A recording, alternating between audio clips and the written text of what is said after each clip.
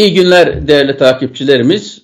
Profesör Doktor Eser Karakaş hocamla yeni bir Özgür Düşünce programında da karşınızdayız. İyi günler, iyi akşamlar, günaydın diyelim. Eser hocam hoş geldiniz. Çok teşekkür ederim İbrahim hocam. Sen nasılsın? Ne var ne yok? Çok teşekkürler hocam. İyi olmaya çalışıyoruz. Mevsim geçişleri çok istikrarsız Avrupa'da. 30 ee, derece ile 0 dereceye yakın aralıkta dalgalanıyor.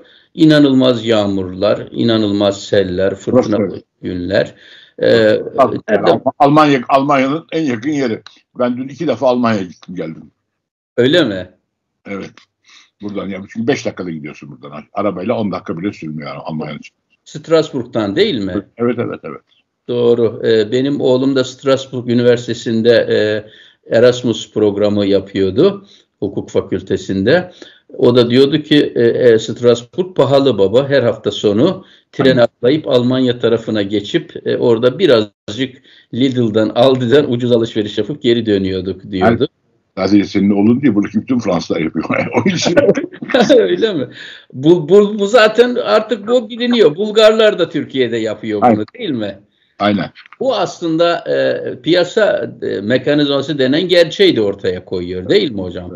Yani e, müdahaleyle e, veyahut da bilmem suni yollarla arbitraj yarattığınız zaman insanlar bunu kullanırlar yani. Aynen öyle. Evet. E, ama tabi bu vesileyle... Buradan, benzin, buradan gidip benzin alıyorlar. değil mi? Evet. Yani e, bu iklim krizi uyduruk bir gündem değil hocam. Bunu kabul edelim. Çünkü şundan dolayı söylüyorum bunu. Maalesef Türkiye halkı, kültürü, çağda olup bitenleri kavrama kapasitesi yetmediği için insanlar e, meydan okumalarla e, yüzleşemeyince inkar etmeyi, içe kapanmayı, büyük mutlu eden yalanları e, söylemeyi daha uygun buluyorlar. Çünkü gerçek çok acı. Yani şimdi iklim kriziyle ilgili de böyle bir söylemi ben görüyorum ortalıkta. Efendim yeniden böyle pandemiye de öyle dediler değil mi hocam? Yani tamam yani e, aşıların yan etkileri oldu tamam anladık ama el insaf gözlerimizin önünde yüz binlerce insan sokaklarda patır patır ölmedi mi? Hastanelerin sağlık sistemleri çökmenin eşiğine gelmedi mi? E, acil e, e, servisler çökmedi mi? E, neyi bekleyecektik? Böyle durumlarda daha önce de insanlığın pandemi tecrübesi oldu. Bir aşı geliştirip bunun üstesinden gelmek yani. Yani böyle bir hastalığın yayılması efendim insanlığın nüfusu kırmak içinmiş. Yahu 100 milyon insan öldürsen 8 milyar insan gitmiş mi oluyor? 200 milyon insanı telef etsen ne olacak yani? İlla yani e, iklim krizinde de bu. Kapitalistlere para lazım. Haydi bakalım nereden ülkeleri borçlandırırız? Kendimize bağlarız. Ya yok kardeşim insanlık yaşadığı doğaya zarar verdi. Fazla zarar verdi. Doğa çok tahrip edildi ve kendini SOS şeklinde sorunlar ortaya koydu. İnsanlık da hep bunu yapar. Eyvah biz ne yaptık diye şimdi tedavi etmeye çalışıyor. Burada komplo moplo yok. Böyle dersek müdahale etmekte zorlanacağız. Geç kalacağız. Pozisyon alamayacağız. Bedelini daha da ağır ödeyeceğiz ki Türkiye iklim krizinin tam da yatağında Akdeniz çanağında en büyük riskin altında olan Türkiye. Aynen. Aynen. Ama maalesef. Hocam e, e, bu haftanın bence önemli konularından birisi diye e, ben seçtim bunu. E, ama herhalde günlerce, haftalarca artık konuşma gündemimiz bu. O da şu. Yani NAS ekonomisiyle gelen gündemde biz aylarca kur garantili mevduat faciasını konuştuk. Bunun Türkiye'nin üzerine büyük bir çapanoğlu olduğunu, bunu Türkiye'nin bu kazı çıkartmak için korkunç bir bedel ödeyeceğini söyledik. Nitekim bu bedelde hayat pahalılığı olarak, bütçeden verilen faiz olarak, Merkez Bankası'ndan harcanan e, rezervler olarak, gelir dağılımının akla ziyan bozulması, tarihte eşi görülmemiş bir servet transferi olarak önümüze çıktığını gördük.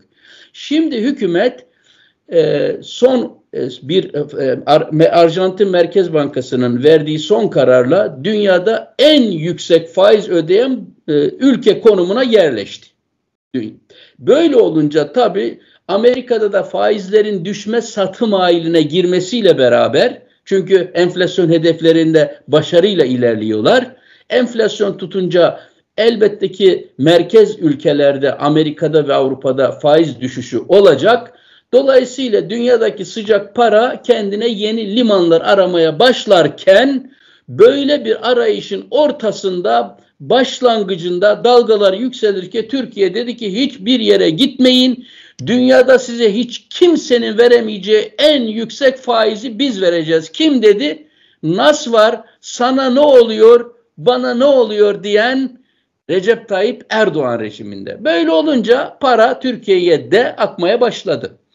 Mehmet Şimşek de bunu bir başarıymış gibi yutturmak için dedi ki programımızı herkes inanıyor, para da akıyor, müdahale etmesek, piyasadan döviz almasak dolar 25'e kadar düşer. Dolar 20 bu başarı mı? Kur garantili mevduatla içeride yandaşlara yaptığın servet transferini şimdi küresel alanda küresel e, sıcak para sahiplerine, sermaye sahiplerine yapıyorsun. Burada bari hiç olmasın içerideki çetelere gidiyordu. Şimdi tümüyle küresel sermayeye gidiyor. Bunun başarı neresidir? Bu gelecek sıcak para Türkiye'nin ne işine yarayacaktır? Çıkmaya başladığında ne olacaktır hocam? Buyurun. Estağfurullah. Peki sen bu senin e, kurlara bir müdahale olarak algılıyorsun değil mi? Ya şey dışarıdan sıcak paranın gelmesi için. E tabii ki hocam sen yüzde elli faiz verirsen ve dünyada da açık ara en öne çıkarsan ne müdahale? Rüşvet hocam. Açık ve seçik rüşvet. Peki bir soru daha yani aklıma takıldığı için soruyorum. Senin sen bir makrocusun, iktisatçısın. Ee, faizler bu enflasyon üzerinde Mayıs'ta kaça çıkacak? Galiba 74'e çıkacak faizler yani. Enflasyon üzerinde olduğu bir yerde bu faiz artışına rağmen faizlerde de bir baskı var mı sence? Artma yönünde mi? Herhangi bir şey faizlere müdahale var mı? Yani e, bu Mayıs ayında zirveyi görecek, 74'leri görecek. görecek. Ama, Ama devamındaki baz etkisiyle sert düşeceği de bilindiği için benim kanaatimi sorarsanız... Real, real pozitif faize geçilecek diyorsun kısa vadede öyle mi? Kısa vadede bilmiyorum hocam çünkü benim beklentim şu kamuoyunun beklentisi de öyle değil mi? Yani Türkiye'de gerçek manada bir çünkü açıklandı sizinle tartıştık geçen hafta açıklanan kamunun tasarruf paketi adlı paketi biz enflasyonla mücadele etmemiştik ya yine etmeyeceğiz. Biz bugüne kadar tasarruf etmemiştik ya yine etmeyeceğiz mesajı veriyor. Ee, yılın ilk 4 ayında ortaya çıkan bütçe açığı 690 milyar TL. Bunun kafadan yarısı faiz harcaması ve 3 yıl boyunca yapacakları tasarruf sadece ilk 4 ayda ortaya çıkan 690 milyar TL'nin hiçbir şeysini karşılamıyor. Yani tam bir komedi, tam bir e, dolayısıyla şunun için söyledim bunu sizin sorunuza cevaben. Demek ki gerçekten bir enflasyon mücadelesi yok. Bu bağlamda da enflasyon ben size söyleyeyim yüzde ellilerin altına da gerilemez. Hal böyle olunca reel anlamda beklenen enflasyonu bile hedef alsak ki reel faiz hesaplamalarında beklenen, hedeflenen enflasyondur veri.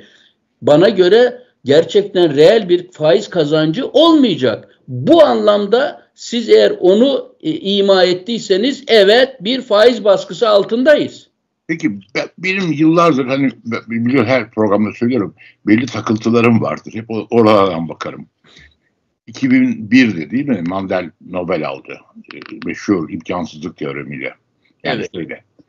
Ne diyor Mandel orada? Eğer bir ülkede sermaye hareketleri serbestse diyor. Şayet. Ki Türkiye'de e, bütün engellemelere rağmen her şeye rağmen sermaye hareketlerinde belli bir serbestliği var. Sermaye hareketleri açısından bir a, a, açık ekonomi gibiyiz. Peki ne diyor Mandel o Nobel aldığı şeyinde e, tezinde? Teoreminde. E, Şimdi eğer sermaye hareketlerinin serbestliği. üç faktör neydi hocam? Bir sırayla söyleyin de. Sermaye hareketlerinin serbestliği. Bir.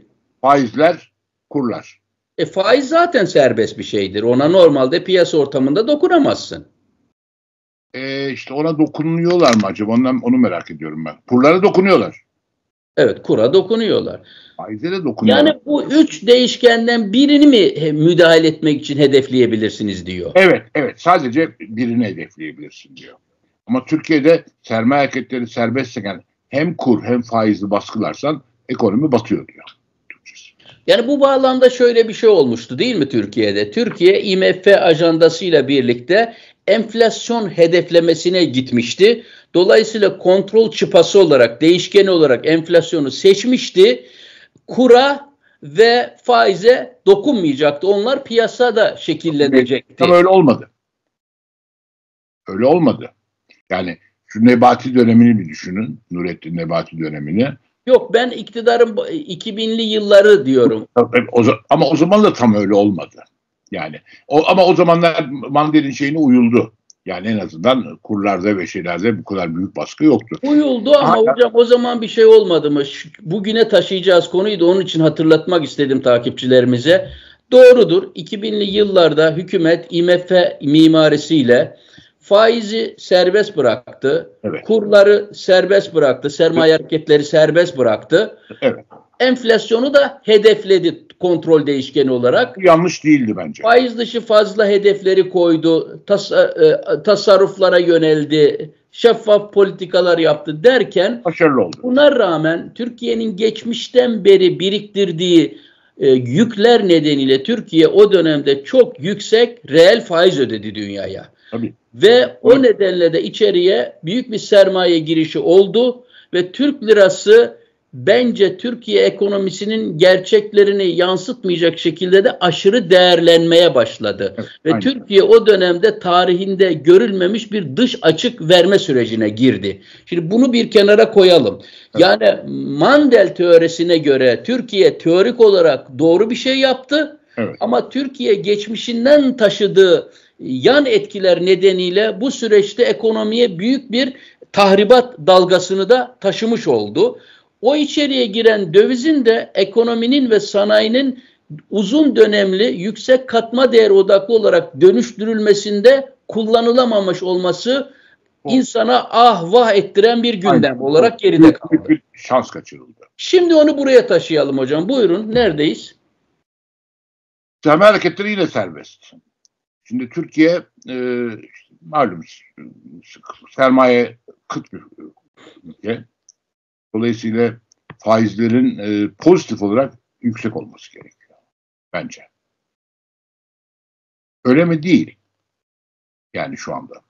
E, kurlar üzerinde bir baskı var. Sen Merkez Bankası söylüyor bunu. Bir enflasyonla mücadele kurları şey tutuyoruz diyor. Şu kadar Şimşek'in söylediği de şu kadar döviz aldık diyor. Hocam trajediye bakar mısınız? Dolar 30 ve üstüne gitmesin diye canhıraş döviz e, satan bir ülke şimdi de döviz 30'un altına gelmesin diye canhıraş döviz toplamakta. İyi ama dövize bir müdahale var yani yine. Enteresan. E, döviz satarken faiz dipteydi. Döviz toplarken faiz dünyanın zirvesinde. Şu ülkenin insanlık liginin dışında savrulduğu yere bakar mısınız? Ya şu an tartıştığımız konu eğer Mandel hipotezi ise hiçbir yeriyle tutarlı değil dediğiniz gibi. Ben, ben de onu demek istiyorum. Evet. Zaten benim yıllardır yaptığım bir şaka vardır. Bu Mandel meselesini ben Türkiye'ye çok ciddiye alıyorum. Yani Türkiye'nin başına ne geliyorsa bu Mandel teoreminin çok özümsenmemesinden geldiğini düşünüyorum. Hatta bir şaka yaparım ekonomi bürokrasisine birisini alırken ya da birisini Maliye Bakanı, ekonomiden sorumlu bakan yaparken ya da işte Maliye Bakanlığı eski sistemde müsteşar yaparken, ekonomi bakanlığı müsteşar yaparken Mandel teoreminden sınava intihar edeceksin derdim. Bilmiyorsa almayacaksın.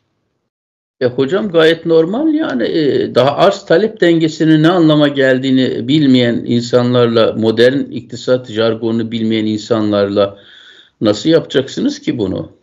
Yani ben size şunu söyleyeyim mesela KGM NAS ekonomisinde faizin 8,5'a düşürülüp e, KGM'nin konması bu e, piyasaya müdahale şekliydi. Tabii yani o zaman demişlerdi ki bir şey değildi.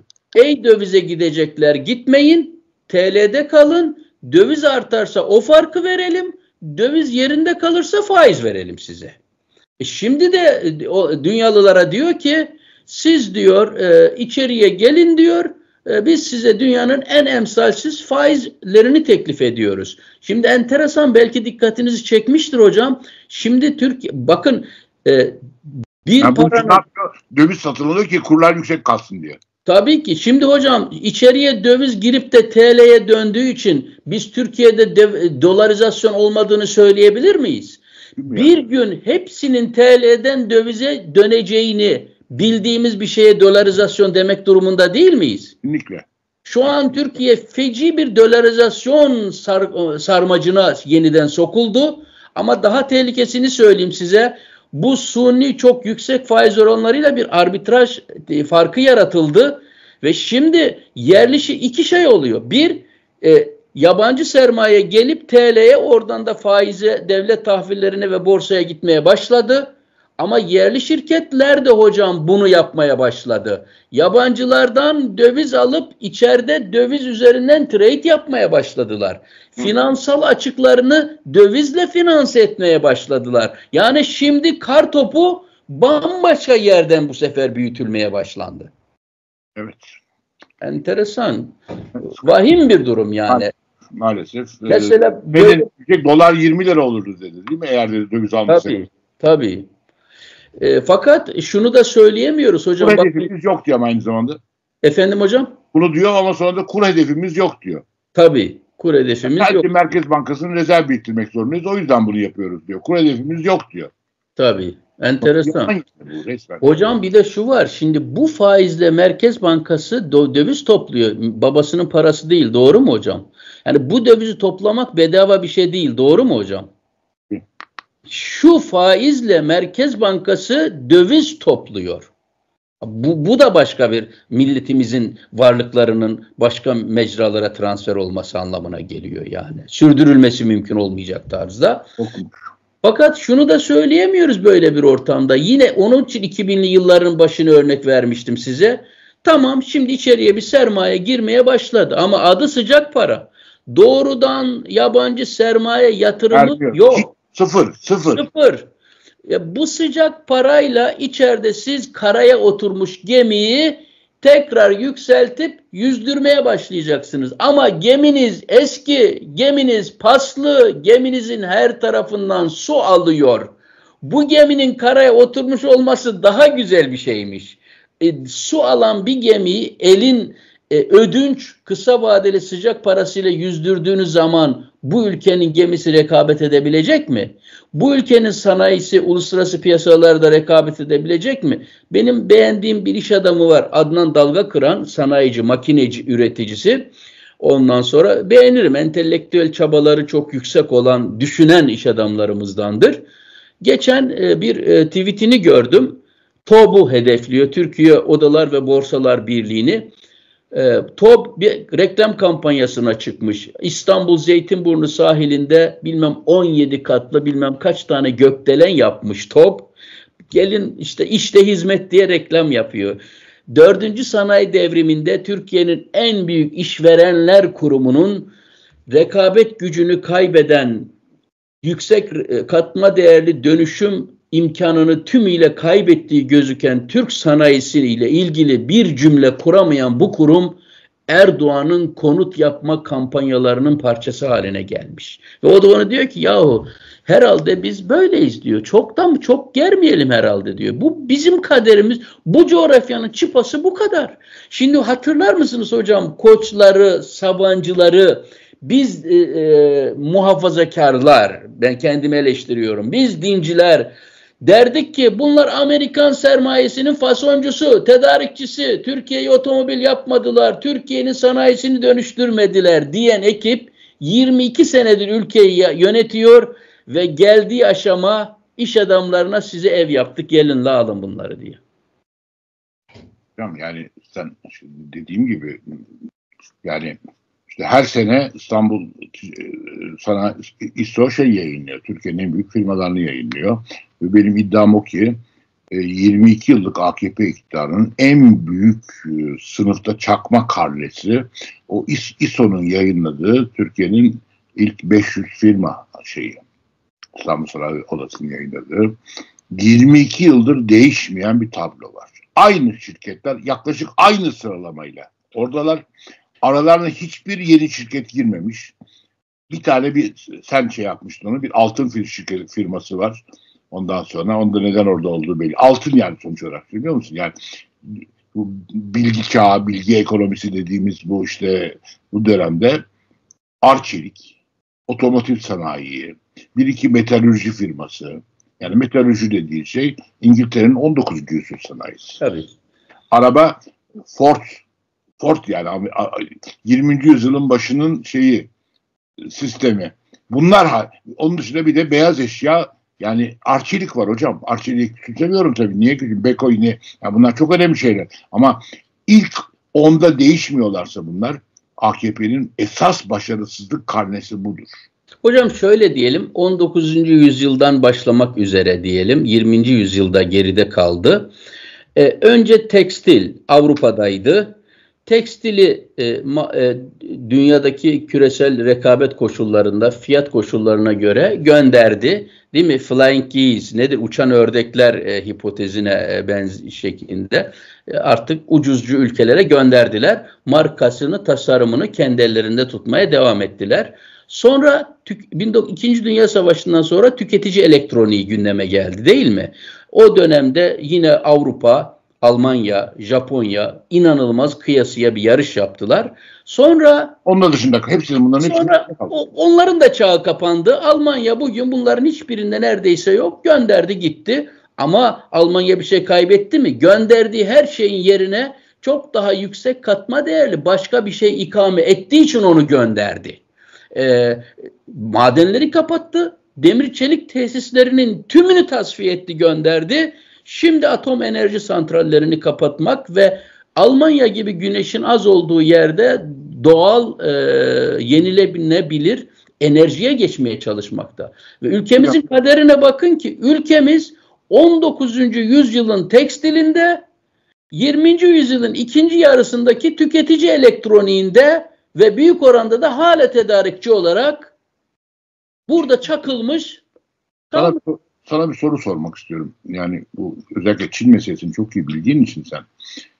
Biden Çin'den gelecek, Amerika'ya gelecek ithal ürünlerine yüksek gümrük şeyleri koymaya kalktı. Paul Krugman bile ki Biden'ın yani Demokrat Parti muazzam destekliyor. Paul Krugman bile bunu eleştirdi New York Times'teki köşesinde. Niye yapıyor Biden? Sırf seçime yönelik bir e, istihdam kaybı yaşanmasın. Yaklaşık tam istihdamla girelim, tam istihdam durumunda mı girelim seçime istiyor? Şimdi Paul Krugman öyle bir kritik bir isimden bahsettiniz ki hocam bu yani bu konunun da hafızası onda uluslararası ekonominin uzmanı olarak. Paul Krugman tabii 1970'lerde aynı gündemi e, neredeyse birebir aynısıyla yaşamış olan Amerika ile Japonya arasındaki iki sektörde yaşamıştı. Birisi yarı iletkenler, birisi de otomotiv sanayi. Çünkü petrol kriziyle birlikte otomobil sektöründe yeni bir maliyet avantajı olan tasarruflu, e, ucuz, dayanıklı araba sektörü gündeme geldi. Japonya gerçekten arabaları Amerikalıların tersine küçülttü. Yakıt ekonomisini koydu arabalarına ve Amerikan piyasalarını hallaç pamuğu gibi attı. Yarı iletkenlerde de aynı şeyi yaptı. O dönemleri ben biraz çalıştığım için biliyorum. E, ben de onun için soruyorum sana. Telaffuzum yanlış özür dilerim. O dönemde Amerika'nın dış ticaretten sorumlu bakanı bir Clyde Prestovitz diye bir bayandı. Ee, o dönemde Japonya ile bu pazarlıkları da yaka paça olan o kadındı. Ee, siyaseti bıraktıktan sonra Trading Places diye bir kitap yayınladı ve bu tartışmaların hepsini orada yaptı. Ve o dönemin tecrübesi tabii ki e, Bakvati yine o dönemde yapıyor, yaz, yazıyordu, ediyordu. O, ve şu kaldı aklımızda. Ee, iç içe geçmiş Japon ve Amerikan sanayileri gibi iç içe geçmiş ülkelerde iç sanayi korumak için koyduğunuz gerek kantitatif gerek vergisel koruma iç sanayi gelir ve vurur. Amerikan sanayisini vurdu. Japonlara karşı koruyamadılar. Hiçbir sonuç da elde edemediler. Ama Çin olgusu Japonya olgusundan bambaşka daha fazla hocam. Bir kere Çin'le şimdiki kavganın konusu elektrikli araçlar. Elektrikli araçlarda Çin Çin'in iç piyasasının büyüklüğünü kullanarak 10 yıllardır neredeyse bütün kamu e, ulaşım araçlarını elektrikli araca döndürdüler. Temiz ekonomi, yeşil ekonomi bağlamında. Batarya Savaşı'nda dünyadaki nadir yeraltı elementleri pazarını ele geçirdiler. Afrika'da, fakir ülkelerde hatırlayacaksınız Avustralya Amerika'nın etkisinde buna direndi ve biz artık sana bunları satmayacağız dedi. Ama uzun vadeli 100 yıllık kontratlarla Çin bu nadir yeraltı elementleri pazarını büyük oranda kapattı. Yüzde 60'a varan oranda Çin'in kontrolünde. Bir de başka şansı var. Zaten bu element Çin'de hocam. Orada çıkıyor kobalt bilmem ne. Hocam peki Amerika kendi iç piyasasını Çin'in elektronik elektrikli arabalarını açsa ne olur? Yani e, bana göre karşılıklı bir entegrasyon olduğu için e, Amerikalılar da gidip Çin'de yapacaklardır. Onlar da orada satmaya kalkacaklardır. Amerika çok daha teknolojisi yüksek ürünler üretebiliyor hocam yani. Evet. Hem savaş sanayinde işte e, bilgi çay cep telefonlarında şurada burada bilgisayar teknolojisinde çok daha yüksek teknoloji ürünler üretmek şeyi var. Uzay teknolojisi kullanıyor. Uzay şeyleri üretiyor. Evet. Elektrikli araba dediğinde sonuç olarak eski bir teknoloji yani tabii elektrikli araba yeni bir teknoloji ama sonuç olarak eski araba ya sonuç olarak. Öyle bakıyorum. E, fakat işte e, e, Çin hocam başka bir ölçekle geliyor. Japon malı, Tapon malı diye e, kullandığımız Çin için kalitesizlik unsuru diye bahsettiğimiz. Elektrikli araba değil başka şeyler değil. Yani Çin'in her türlü tüketim aracı ürettiği Amerika'ya girsin çok ucuza. Ya Amerika şunu söylüyor hocam. Amerika diyor ki biz diyor çok fazla dış açık veriyoruz. Biz diyor kağıt üzerindeki kurallara bakarak ticaret yapmak istemiyoruz artık diyor. Ben diyor Hatice'ye bakar değil neticeye bakarım. Çin öyle bir piyasa ekonomisi bize sunmalıdır ki yekün çizgisini çektiğimiz zaman Çin'le biz sürdürülebilir dış ticaret yapmak istiyoruz. Çünkü şundan dolayı Çin diyor ki yahu benim neyim senden daha yüksek ki?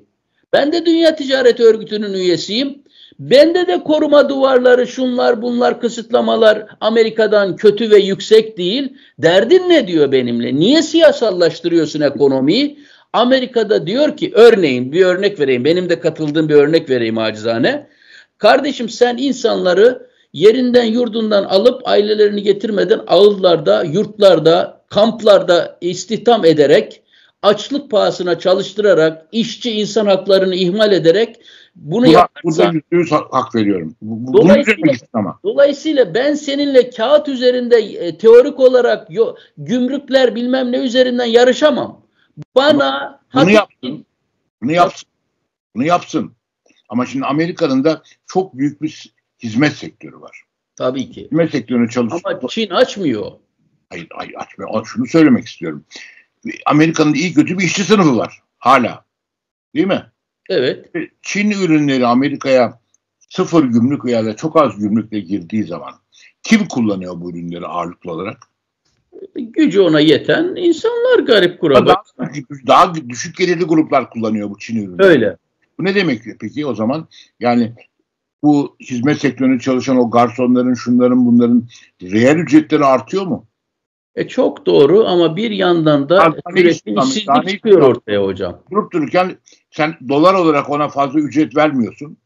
Ama aldığı 100 dolarla girdiği zaman iki tane gömlek al alabilecekken beş tane alabiliyor.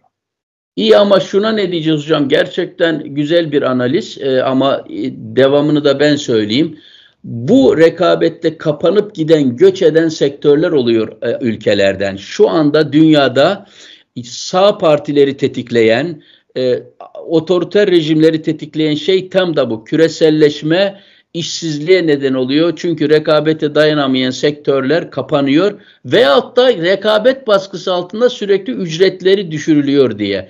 Dolayısıyla enteresan bir çıkmaz aslında. Bir yandan sizin dediğiniz şey var. Yahu ne güzel işte insanlarımızın ihtiyacı var. Alıyor sen yeterince maaş vermediğin adamlar mutlu mesut yaşıyor orada. Hocam, ama diğer taraftan da sektörü kapanıyor. İşsiz hocam, kalacak adam. Ama Amerika için bile sınırlı kaynak sorunu. İktisatın temel kuralı Amerika evet. için de geçerli. O Amerika'nın bugün bu yüksek teknoloji düzeyinde Harvard'ı, MIT'si olan bir ülkenin bisiklet üretmeye ihtiyacı var mıdır ya? Yoktur. Hatta araba üretmeye ihtiyacı var mıdır? Özel bir iki araba türü dışında yani. İşte o zaman şu ortaya çıkıyor hocam. Yüksek teknolojilerde, son teknolojilerde yaratılan istihdam bir ölçüde konvansiyonel sektörlerden açığa çıkan işsizliği e, absorbe etmeye yetecek mi? Yetmeyecekse Amerika gibi sosyal devlet anlayışı olmayan ülkede bu işsizliğini kaybedenlere ne yapacağız? Hocam çok yoğun ama bu çok yoğun bir hizmet sektöründe büyüme var Amerika'da. O hizmet sektörü bütün o şeyi absorbe ede, ede, edebiliyor Amerika'da. Şu anda tam istihdamda Amerikan ekonomisi aşağı yukarı. Tam istihdam. Yani dolayısıyla yani ben sonuçta yani bir kısıtlı kaynak Amerika için de geçerli. Bu evet. kısıtlı kaynağını Amerika Allah aşkına niye bisiklet üretmek için kullansın? Gitsin onu işte ne bileyim işte bu, bu, bunlar için kullansın. Şu kullandığımız aletleri geliştirsin. Bunu yapabilecek teknolojik dehası da var. İşte Google'ı üretti. Şunu üretti. O zenginlik aynı zamanda o çok muazzam zenginlik hizmet sektöründe karşılığını buluyor. O, o para nereye gidiyor? O para sadece e, yani Apple'ın üretici şeylerinin patronlarının ya da Google'ın patronlarının cebine gitmiyor. Dağılıyor, yayılıyor. Ve Hocam, hizmet sektörüne muazzam bir talep artıyor. İnsanlar her akşam sokakta yemek yiyorlar. Evet e, doğru yani Amerikan ölçeğinde bu enteresan bir tartışma ama bu tartışmanın aynı şekilde diğer ülkeler bazında da yapılması gerekiyor. Ben Amerika için, Amerika için sordum yani. Evet. Yani Biden'ın bu şey meselesi yani. Siyasi bir şey. Siyasi bir korku gibi duruyor dediğiniz gibi. Acaba seçime kadar mı yani bunu yapıyor Biden? Bunu, bunu çok kafamda netleştiremiyorum. Yani benim kanaatimce benim kanaatimce Çin'e karşı Amerika'nın e, milli bir politikası oluştu gibi gözüküyor hocam. E, Joe Biden da olsa, Trump da olsa benzer politikaları sürdürecekler gözüküyor. Bir, bir karşı şey daha söyleyebilir miyim izninle? Buyurun. E, e, Amerikan iç pazarını işte bisikletinden gömleğine bilmem nesine hatta arabasına kadar Çin'e açarsam Çin dayanamaz bunu kabul etmek zorundadır. Çünkü Çin de o şekilde İslam yaratıyor kendi ülkesinde. Onun da istihdama ihtiyacı var Çin'de.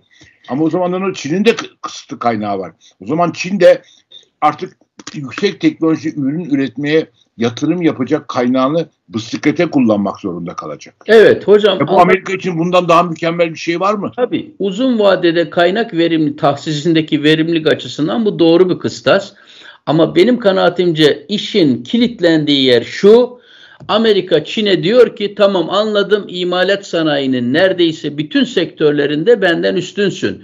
Bir takım son teknolojilerde özellikle e, buluş icat e, odaklılarda ben iyiyim. Ray teknolojilerinde. Evet ama e, sen de bana o zaman hizmet sektörünü açacaksın. Çin açmıyor. Oraya zorluyor. Sen bunu açmazsan ben de imalat sanayini sana açmayacağım. Bir, Doğru. iki, dünyayı Örneğin Japonya Çin'den çıkmaya çalışıyor. Batı ülkelerinin bir kısmı Çin'den çıkmaya çalışıyor. Ama evet. nereye? Ben senin dibine Hindistan'ı senin alternatifin olarak koyuyorum o zaman. Sen de hizmet sektörünü açman o zaman diyor. Çok doğru bir tehdit. Doğru bir tehdit iktisatçı açısından baktığın zaman. O da Çin'de e, oradaki kendi ülkedeki ihalelerini sokmak zorunda Amerikan firmalarına. Evet. Konu bu. Yani mevzu bu aslında. Buna yüzde yüz katılıyorum.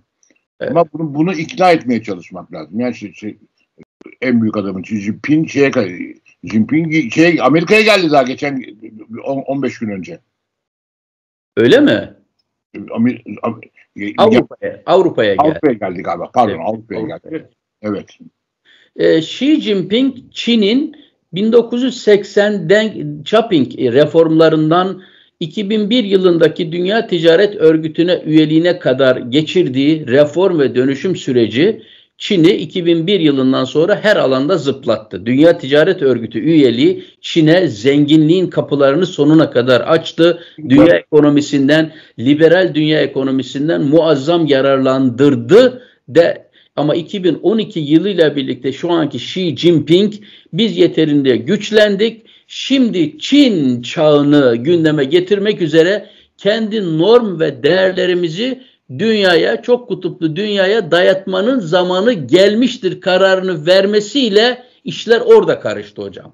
Çünkü şöyle bir tartışma vardı. Yahu biz bu Çin'i Dünya Ticaret Örgütü'ne almalı mıyız, almamalı mıyız? Alırsak bunlar çok haksız rekabetle dünyayı darmadağın edecekler. Bir görüşte dedi ki ama Çin değişiyor, dönüşüyor. Bakın Çin 1980'den 2000'e kadar 20 sene boyunca hayaller ötesi dönüştü. Bizim için de fayda üretti. Bu Çin ileride piyasa ekonomisi normlarını oturtur. Hatta demokrasi yolunda da mesafe alır. Çalışma hukukunda geliştirir ama sen de diyorsun ki 12'den sonra 2012'den sonra bu durdu. görüş rafa kalktı ve buna itiraz edenler bugün haklı çıkmış gibi gözüküyor. Konu bu. Evet. Peki Dünya Ticaret Örgütü gibi örgütlerle Çin'e özellikle çalışma hukukunda baskı yapma olanağı yok mu? Yok hocam oraya müdahale ettirmiyor Çin. Orada orada şöyle diyor Birleşmiş Milletler dahil olmak üzere Uluslararası Çalışma Örgütü dahil olmak üzere diyor ki bu bizim farklı norm ve değerlerimiz var. Dünyada sadece batı yok. İnsan hakkı dediğinizde biz insan hakkı demiyoruz. Hukuk dediğinizde biz onu demiyoruz. İç işlerimize müdahale etmeyin e, egemenlik haklarımıza ve iç işlerine kimse kimsenin müdahale etmesin diye böyle çok hoş, zehirli bir şey geliştirmişler. Böyle duyunca herkesin ağzının suyu akıyor. Aa Çin'e bak ne güzel laflar ediyor. Kimse kimsenin iç işlerine karışmasın. Egemenlik haklarına müdahale etmesin. Ee, e, norm ve değerlerimize karşılıklı saygı duyalım. O zaman ne oluyor? Gidiyorsun fakir Pakistan'ın yönetimini rüşvete boğarak satın alıyorsun. Orada istediğin projeleri elde ediyorsun. Diyorsun ki diktatöre ben de sana rüşvetini veriyorum. Dilediğini yap. Ben sana Batılıların sorduğu hiçbir soruyu sormuyorum. Sen yeter ki bu sektörleri bana ver. O da önünü göremeyen beceriksiz e, ülke yöneticileri Çin'le bu kirli işlere giriyorlar. Adına da müdahale etmiyoruz diyorlar ondan sonra da. Hocam bu çok güzel bir tartışma oldu. Ee, ondan sonra bunu... Hocam biterken biraz ekonominin dışına çıkalım mı? Bir çok, heyecanlı çok, tartışma da.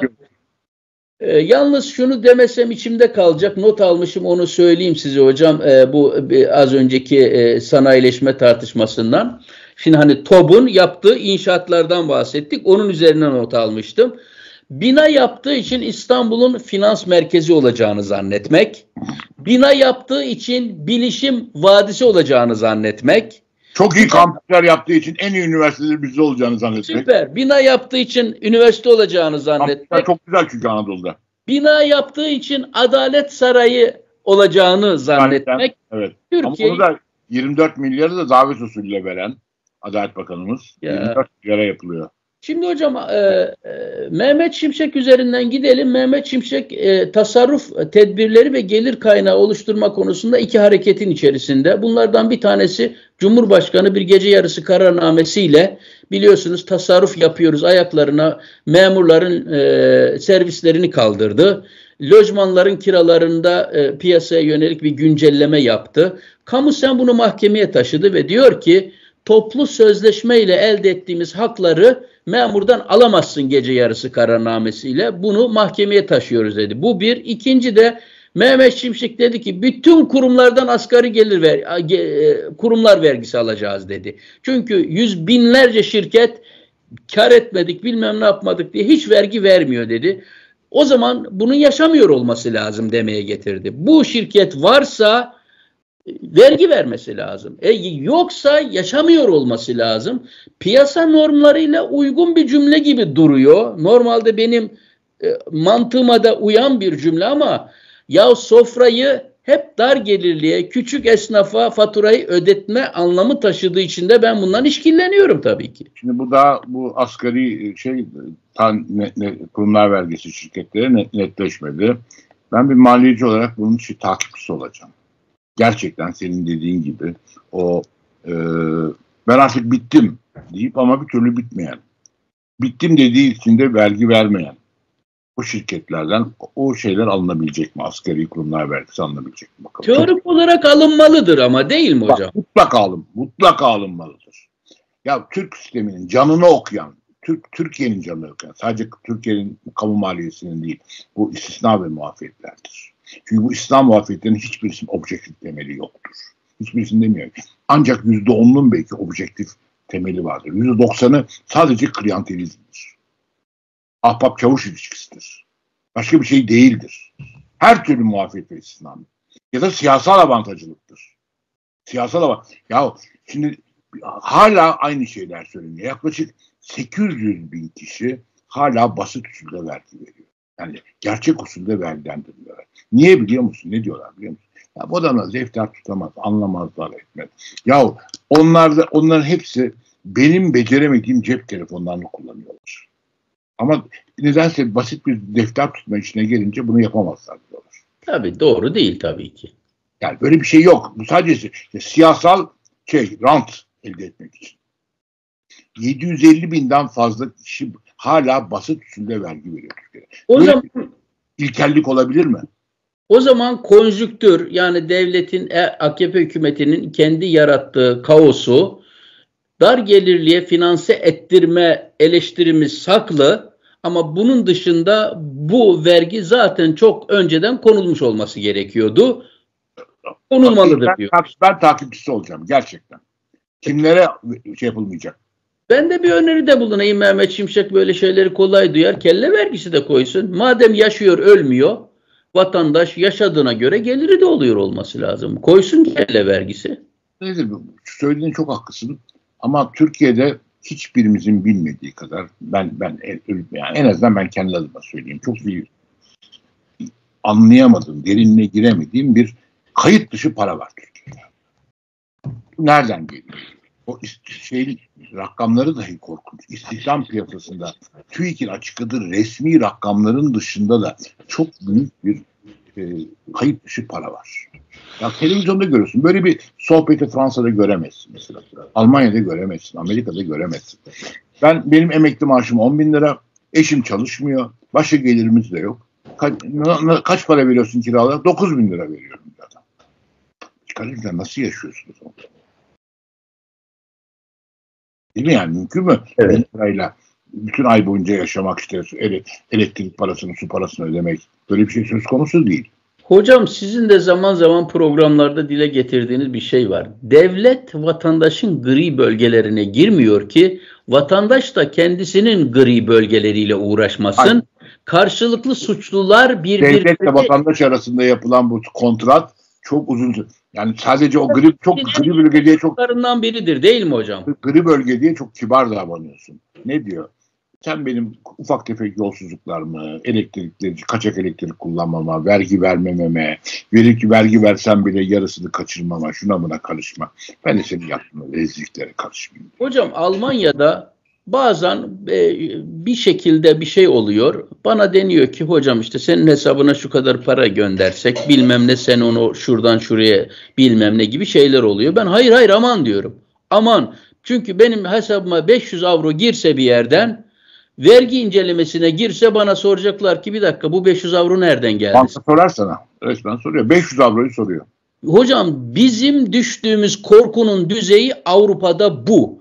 Türkiye'de yaşadık. Hiç Türkiye'de siz şöyle bir tedirginlik oldu mu? Bende hiç olmadı böyle bir tedirginlik. Kim ya, nereden ne yaptı? Verenden Allah razı olsun diyorduk. Ben bu akşam e, bu akşam saat kaça 12'ye kadar e, gelir beyan süresi var. Ben dün verdim e, gelir vergisi beyannamesini. Yapar gelir beyannamesini dün verdim. Ya yemin ediyorum bütün 2023'ün ocağından aralığına kadar bütün banka hesaplarını tek tek çıkarttım. Yatan bütün paraları oraya kuruşu kuruşuna yazdım. Kuruşu kuruşuna. Çünkü diyorum ki yani buranın vatandaşı olmak ya aman eser dikkatli ol, temkinli ol, başına bir bela alma. Açık ol, kuruşu kuruşuna kaç para gelmişse hepsini yazdım. Yoruldum da yani bu iş kolay iş değil. Böyle götürdüm maliyeye verdim şeyi. Ya. Kapalıydı ama Hocam. çok büyük bir şey bir posta kutusu açmışlar. Herkes zarflarını oraya atıyor. Şimdi burada Hocam son 3 dakikamızı provokatif bir konuyla bitirmek istiyorum. Provokatif konumuz şu. E, Ekrem İmamoğlu'nun e, yurt dışına gazeteci ordusu götürmesi ve tümünü belediyenin bütçesinden finanse etmesi Erdoğan'ın bile yapmayı cesaret edemediği ölçekte bir şey. Bir de bel CHP'li belediyelerde bir içki serbestisi tartışmasını AKP medyası ve tabii ki Cumhurbaşkanı kaçırır mı böyle şeyleri? Ağzına dolamış durumda. Yani ben kendi açımdan söyleyip size aktarmak istiyorum. Yani Erdoğan kendi işine yarayacağı zaman, zenginlerine servet transfer edeceği zaman nas var, sana ne oluyor, bana ne oluyor diyor Kur'an'a bağlarken kendi yönettiği ülkede Azerbaycan'dan vergisiz 2 milyar dolarlık şarap ithal ediyor. İthal ettiği şarabı CHP'li belediye satarsa tesisinde işte bunlara rey verdiniz diye yeri yerinden oynatıyorlar. Şimdi ben Müslümanların Allah'ının bu katma değer zincirinin neresine müdahale edip neresine müdahale etmediğini merak ediyorum. Yönettiğin ülkede nas faiz de servet transferine gelince senin tanrın devreye giriyor da yönettiğin ülkede ve e, gümrüksüz şarap ithal ettiğin zaman devreye girmiyor mu? Şarap içenlerin vergisini alıp imamlarına maaş verdiğin zaman Tanrı'nın devreye girmiyor mu? Bunu CHP'li belediye satarsa mı haram oluyor? Çok iyi bir e, formül bulmuşlar. Osmanlı'dan beri bu. Osmanlı'da da aynı şey var. Beytülmal sen benden daha iyi bilirsin. Bir para Beytülmal'a girdiği andan itibaren meşrudur diyorlar. Süper. Bu bir prensip. Çok yani, güzel. Türkiye Türkiye çok hatırlarsa bütün maliye maliye dairelerin üzerinde vergilendirilmiş kazanç kutsaldır yazar. Çok güzel, süper. Biz, 11 şey, defa galiba şey şey kara para hakladık kanunda. E, tamam CHP'li belediye de o içkiyi satıp vergi, vergi ve bir stopajla dışarıdan yurt dışında adamın e, uyuşturucu kaçırmış parası yurt dışında Türkiye'ye getirdi. Yüzde birini verdi devlete. Sonra getirdi parayı burada akladı. Yüzde birini vergi olarak verdiği zaman eroin parası kutsal kazanç oldu. Süper. Vergilendirilmiş kazanç kutsaldır hocam. Beytülmal'dır. Yani hocam. bu şeyden beri çok eski bir gelenek bu. Hocam evet. laik hukukun geçerli olduğu bir ülkede elbette bu tartışmayı yapmayız ama Türkiye'de reel siyasetin geldiği zemin açısından soracağım size.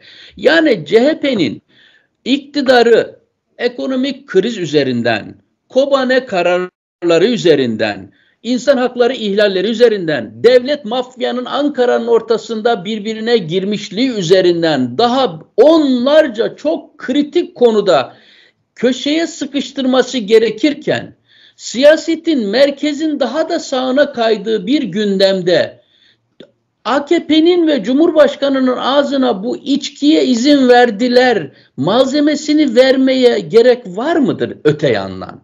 Yani bu mudur e, bu mudur basiret? Yani bir yandan sağcı bir söylem kullanacaksınız. Bir yandan Özgür Özel adeta bir merkez sağ partinin lideri gibi konuşmaya başlayacak. Hatta yahu şu Arapça tabelaları indirmeyin kardeşim. Milletimiz onları Kur'an zannediyor. Kur'an harfi olduğu için de kutsal zannediyor. Milletimizi kırmayalım, üzmeyelim dediği bir ortamda şarap izni, rakı izni, içki izni vermiş diye girdiği zaman bunlar çelişmiyor mu? Bizim milletimiz için hocam bir metrelik türban var, bir de içki var, bir de domuz eti var. Bunun dışındaki hangi domuzluğu yaparsan yap milletimizin dikkatini çekmiyor. O zaman bu malzemeyi de bu millete vermemek lazım. Doğru değil mi hocam? Yani siyaseten haklısın. Siyaseten diyorum. Hukuken siyaseten demiyorum tabii ki. Ama bu da bir yasak. Belediye bir kamusal şey. Belediyenin işletmeleri var yani işte o, o işletmelerde e, ne, alkollü servis yapılmaması da o yasağın sürdürülmesi demek. Çünkü orası kamusal bir yer. Yani belediye kamusal bir yer. O kamusal bir alanda bir yasağın sürdürülmesine ben çok şey sıcak bakmıyorum. Yani ama mesele, mesele alkol meselesi olarak bakmıyorum. Bir yasaktır ve bunu kaldırmak lazım diye bakıyorum. Yani daha düşük gelirli grupların gruplu insanların da geçerken bir, bir daha ucuz kabul edilebilir bir fiyata işte bir bahçede açık havada bir bira içme hakkını da bu nedenden engellememek, engellemek ne kadar doğru bilemiyorum. Ama siyaseten haklısın tabii. Türkiye'de sömürülmeye müthiş meyyal bir şey. Ama öbür tarafta bunu yaptırmamak için de bir yasak uygulamak zorunda. Bir yasağa devam ettirmek zorunda kalıyorsun. O, o da bana çok şey gelmiyor ne derler. E, yani yasak şeyinden hoşlaşmıyorum. Evet. Yani öyle bir şeyim var. Ben de o zaman provokatif bir konuyla açayım, bir bitireyim müsaade edersen bugün. Bugün evet. şeydendeydi e, moderatörlük. Ee, hocam e, Suriye'de Suriye'den buraya insan kaçakçılığı yapılıyor. İnsanlar getiriliyor para karşılığında. İnsan kaçakçılığı. Bunu çeşitli şeyler yapıyorlar. Böyle kaçakçılar var. Fakat ortaya çıkan bir gerçek var. Suriye'de görev yapan bakın. Türkiye sınırını Türkiye toprakları dışında askerlerimiz var. Suriye'de askerimiz var.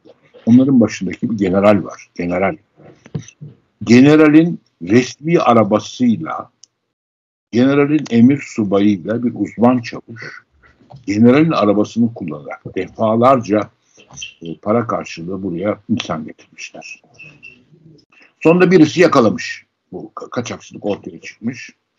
E, bu kaçakçılık ortaya çıkınca e, o, o kaçakçılığı aracılık eden uzman çavuşla emir subayı generalin bu kaçakçılık generalin resmi arabasıyla yapılıyor. Çünkü o araba Suriye'den buraya girerken aranmıyor. Orada göre biliniyor işte. Bilmem ki ne paşa. O paşanın arabası geliyor buraya. O uzman çavuşla şey gözaltına aldı. Sonra tutuklandılar insan kaçakçıları. Evet. Ama e, arabasını bu işe tahsis etmiş demeyeyim ama arabasının kullanıldığı bir general sadece emekliye sevk Emekliye sevk etmek bir ceza mıdır? Emekli gelmiş bir insanın. Yok afiyetle hayatını sürdür demektir. Suç işler, suç işlemişse. Yani kanun, yasaların suç kabul ettiği bir şey yapan bir kişiye. Hani öyle bir şey olur ki bir siyasi tartışma olur bir şey olur. E, Türk ceza kanununa göre bu suç değildir ama ya bu camiada biz bununla beraber olmak istemiyoruz diyebilirsin. Emeğe sevk, emekliye sevk edebilirsin belki. Onu bilemiyorum. Ya bir tane bir amiral vardı galiba değil mi? Gidiyordu bir şeyle e, şiirin yanında dualar ederken falan yakalandı. O suç değil bizim kanunlarımıza göre ama işte bir şey oldu ve emekliye sevk edildi. O da ceza almadı ama tam Türk ceza kanunlarına göre suç değildi. Ama bu bir suç. Açıkça suç bu. Kendi evet. arabası. Ya bu Dayıları güçlü. Kazara istem dışı deşifre olmuşlar. Evet. Uluslararası sistemin alanına girdiği için de tümüyle yok sayamamışlar. Böyle tasfiye etmeye karar vermişler olayı. Hocam böyle bir şey olabilir mi? Devlet Sahipleri üst düzey yani. Sahipleri üst düzey. Sen üst düzey bir adam olduğu için sen, sen seni gözaltına almıyoruz. Ama sen suçlusun. Dayı da üst düzey çünkü. İşin ucu çok üste gidiyor demek ki. Evet. Yani bir de en son Yalı Kavak diye bir günde Yalı, Yalı Kavak Marina. Yalı Onu da söyleyin de böyle kapatalım. Uzun zamandır e, Azeri yatlarıyla ne iş ne yapıldığı belli olmayan işler oluyor.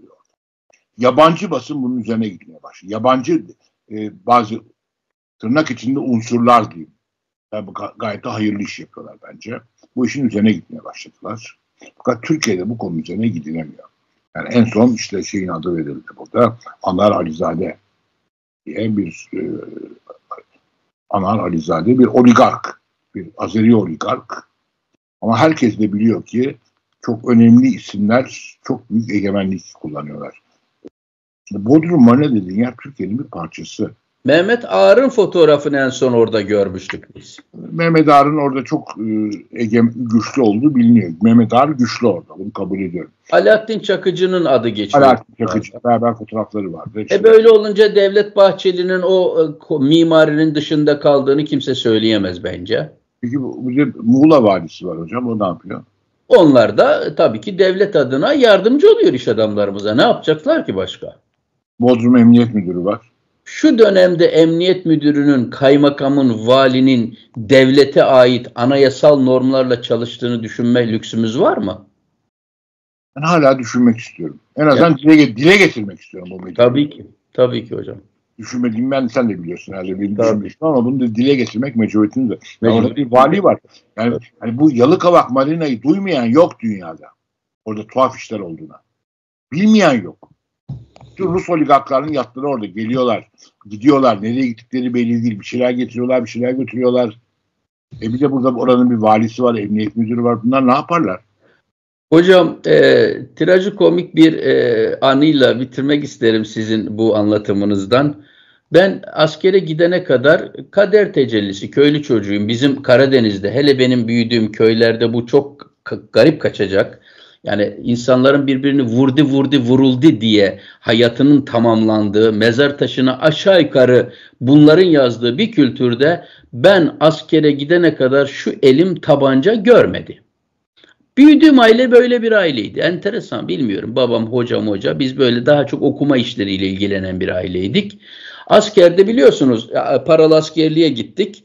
Günün birinde bir atış talimi ayıp olur yani. Bir 5-6 tane bir şey atsın bunlar diye bizi yatırdılar bir yere. Verdiler o 1905 e, tarihli piyade tüfeklerle piyade odun tüfekleri elimize koydular da karşıya hedef atın bakayım bunları dediler ama bunun eğitimi de olmadan atın dediler yani enteresan.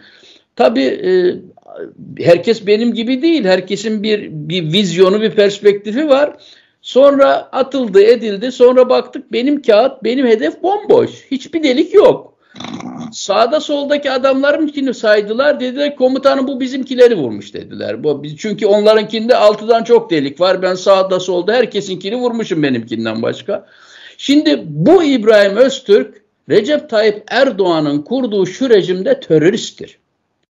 Ve şu anlattığınız marina hikayelerinde şu Ankara'nın ortasında Devlet Bahçeli Erdoğan üzerinden düşünseniz hocam bir ülkenin İçişleri Bakanı polissiniz size talimat veriyor. Diyor ki şurada mafya var şu adrese baskın yapın ve bu adamları alın bana getirin diyor. Siz de emriniz olur komuta, e, e, bakanım diyorsunuz. Emniyet müdürüm diyorsunuz. Gidip yapıyorsunuz. O İçişleri Bakanı sizi taltif ediyor. Aferin diyor. Sonra işler dönüşüyor. Erdoğan MHP ile ipleri atmayacak diye o yakalanan suçluları aklamak üzere ne yapayım ben diyor. Diyor ki aa polisin içinde hala yüce devletimize e, takoz koymaya çalışan polisler varmış. Örgüt elemanları varmış diye o polisler şu an hapse girmiş durumda. Devlet Bahçeli vatansever, Erdoğan vatansever, işte ben de terörist. Ben de. Süper, harika. Hocam çok, çok teşekkür hocam, ederim çok katkınız için. Ben çok teşekkür ediyorum. Bu, bu, bu akşam senin yani. Çok teşekkür ediyorum. Ben teşekkür ederim. Açması projeyi çok hoş oldu. Bu, ara, ara ara dönelim bu konuya. Bu, tamam. Dünyayı o şekillendirecek. Amerika Çin için herhalde. Çok doğru. Ve asla Çin'in ölçekleri o Japonya Maponya hikayelerine de benzemiyor. Rus hikayelerine de benzemiyor. Hatta tek bir cümle söyleyeyim ve kapatayım hocam ilk defa tarihte Amerika'nın karşısına ne Japonya gibi küçük bir ülke ne de Rusya gibi teknoloji ve rekabet dinamiklerinden insan fıtratından kopmuş bir komünizm gibi e, sürdürülmesi imkansız bir rejimle çıkan bir örnek. Çin bambaşka ve ilk defa olan Amerika'nın da dünyanın geri kalanının normlarını da ya bir dakika şuna benzeyelim mi diye değiştirebilecek potansiyelle geliyor. Bambaşka bir olay. Ama ilgilendiğimiz konular bizim de seviyemizi yere çektiği için hocam maalesef dünyadaki bu konulara, bu düzeyde konularla ilgilenemiyoruz bu programlarda. Çünkü milletimiz de ilgi duymuyor zaten. Yani biz sizinle şu önemli konuları konuşsak yemin ediyorum seyirci sayısı onda birine düşer yani. Evet. Bir haftaya yeni bir programda görüşmek üzere. Hocam saygılar, iyi akşamlar. Hoşçakalın. Abi de çok teşekkürler.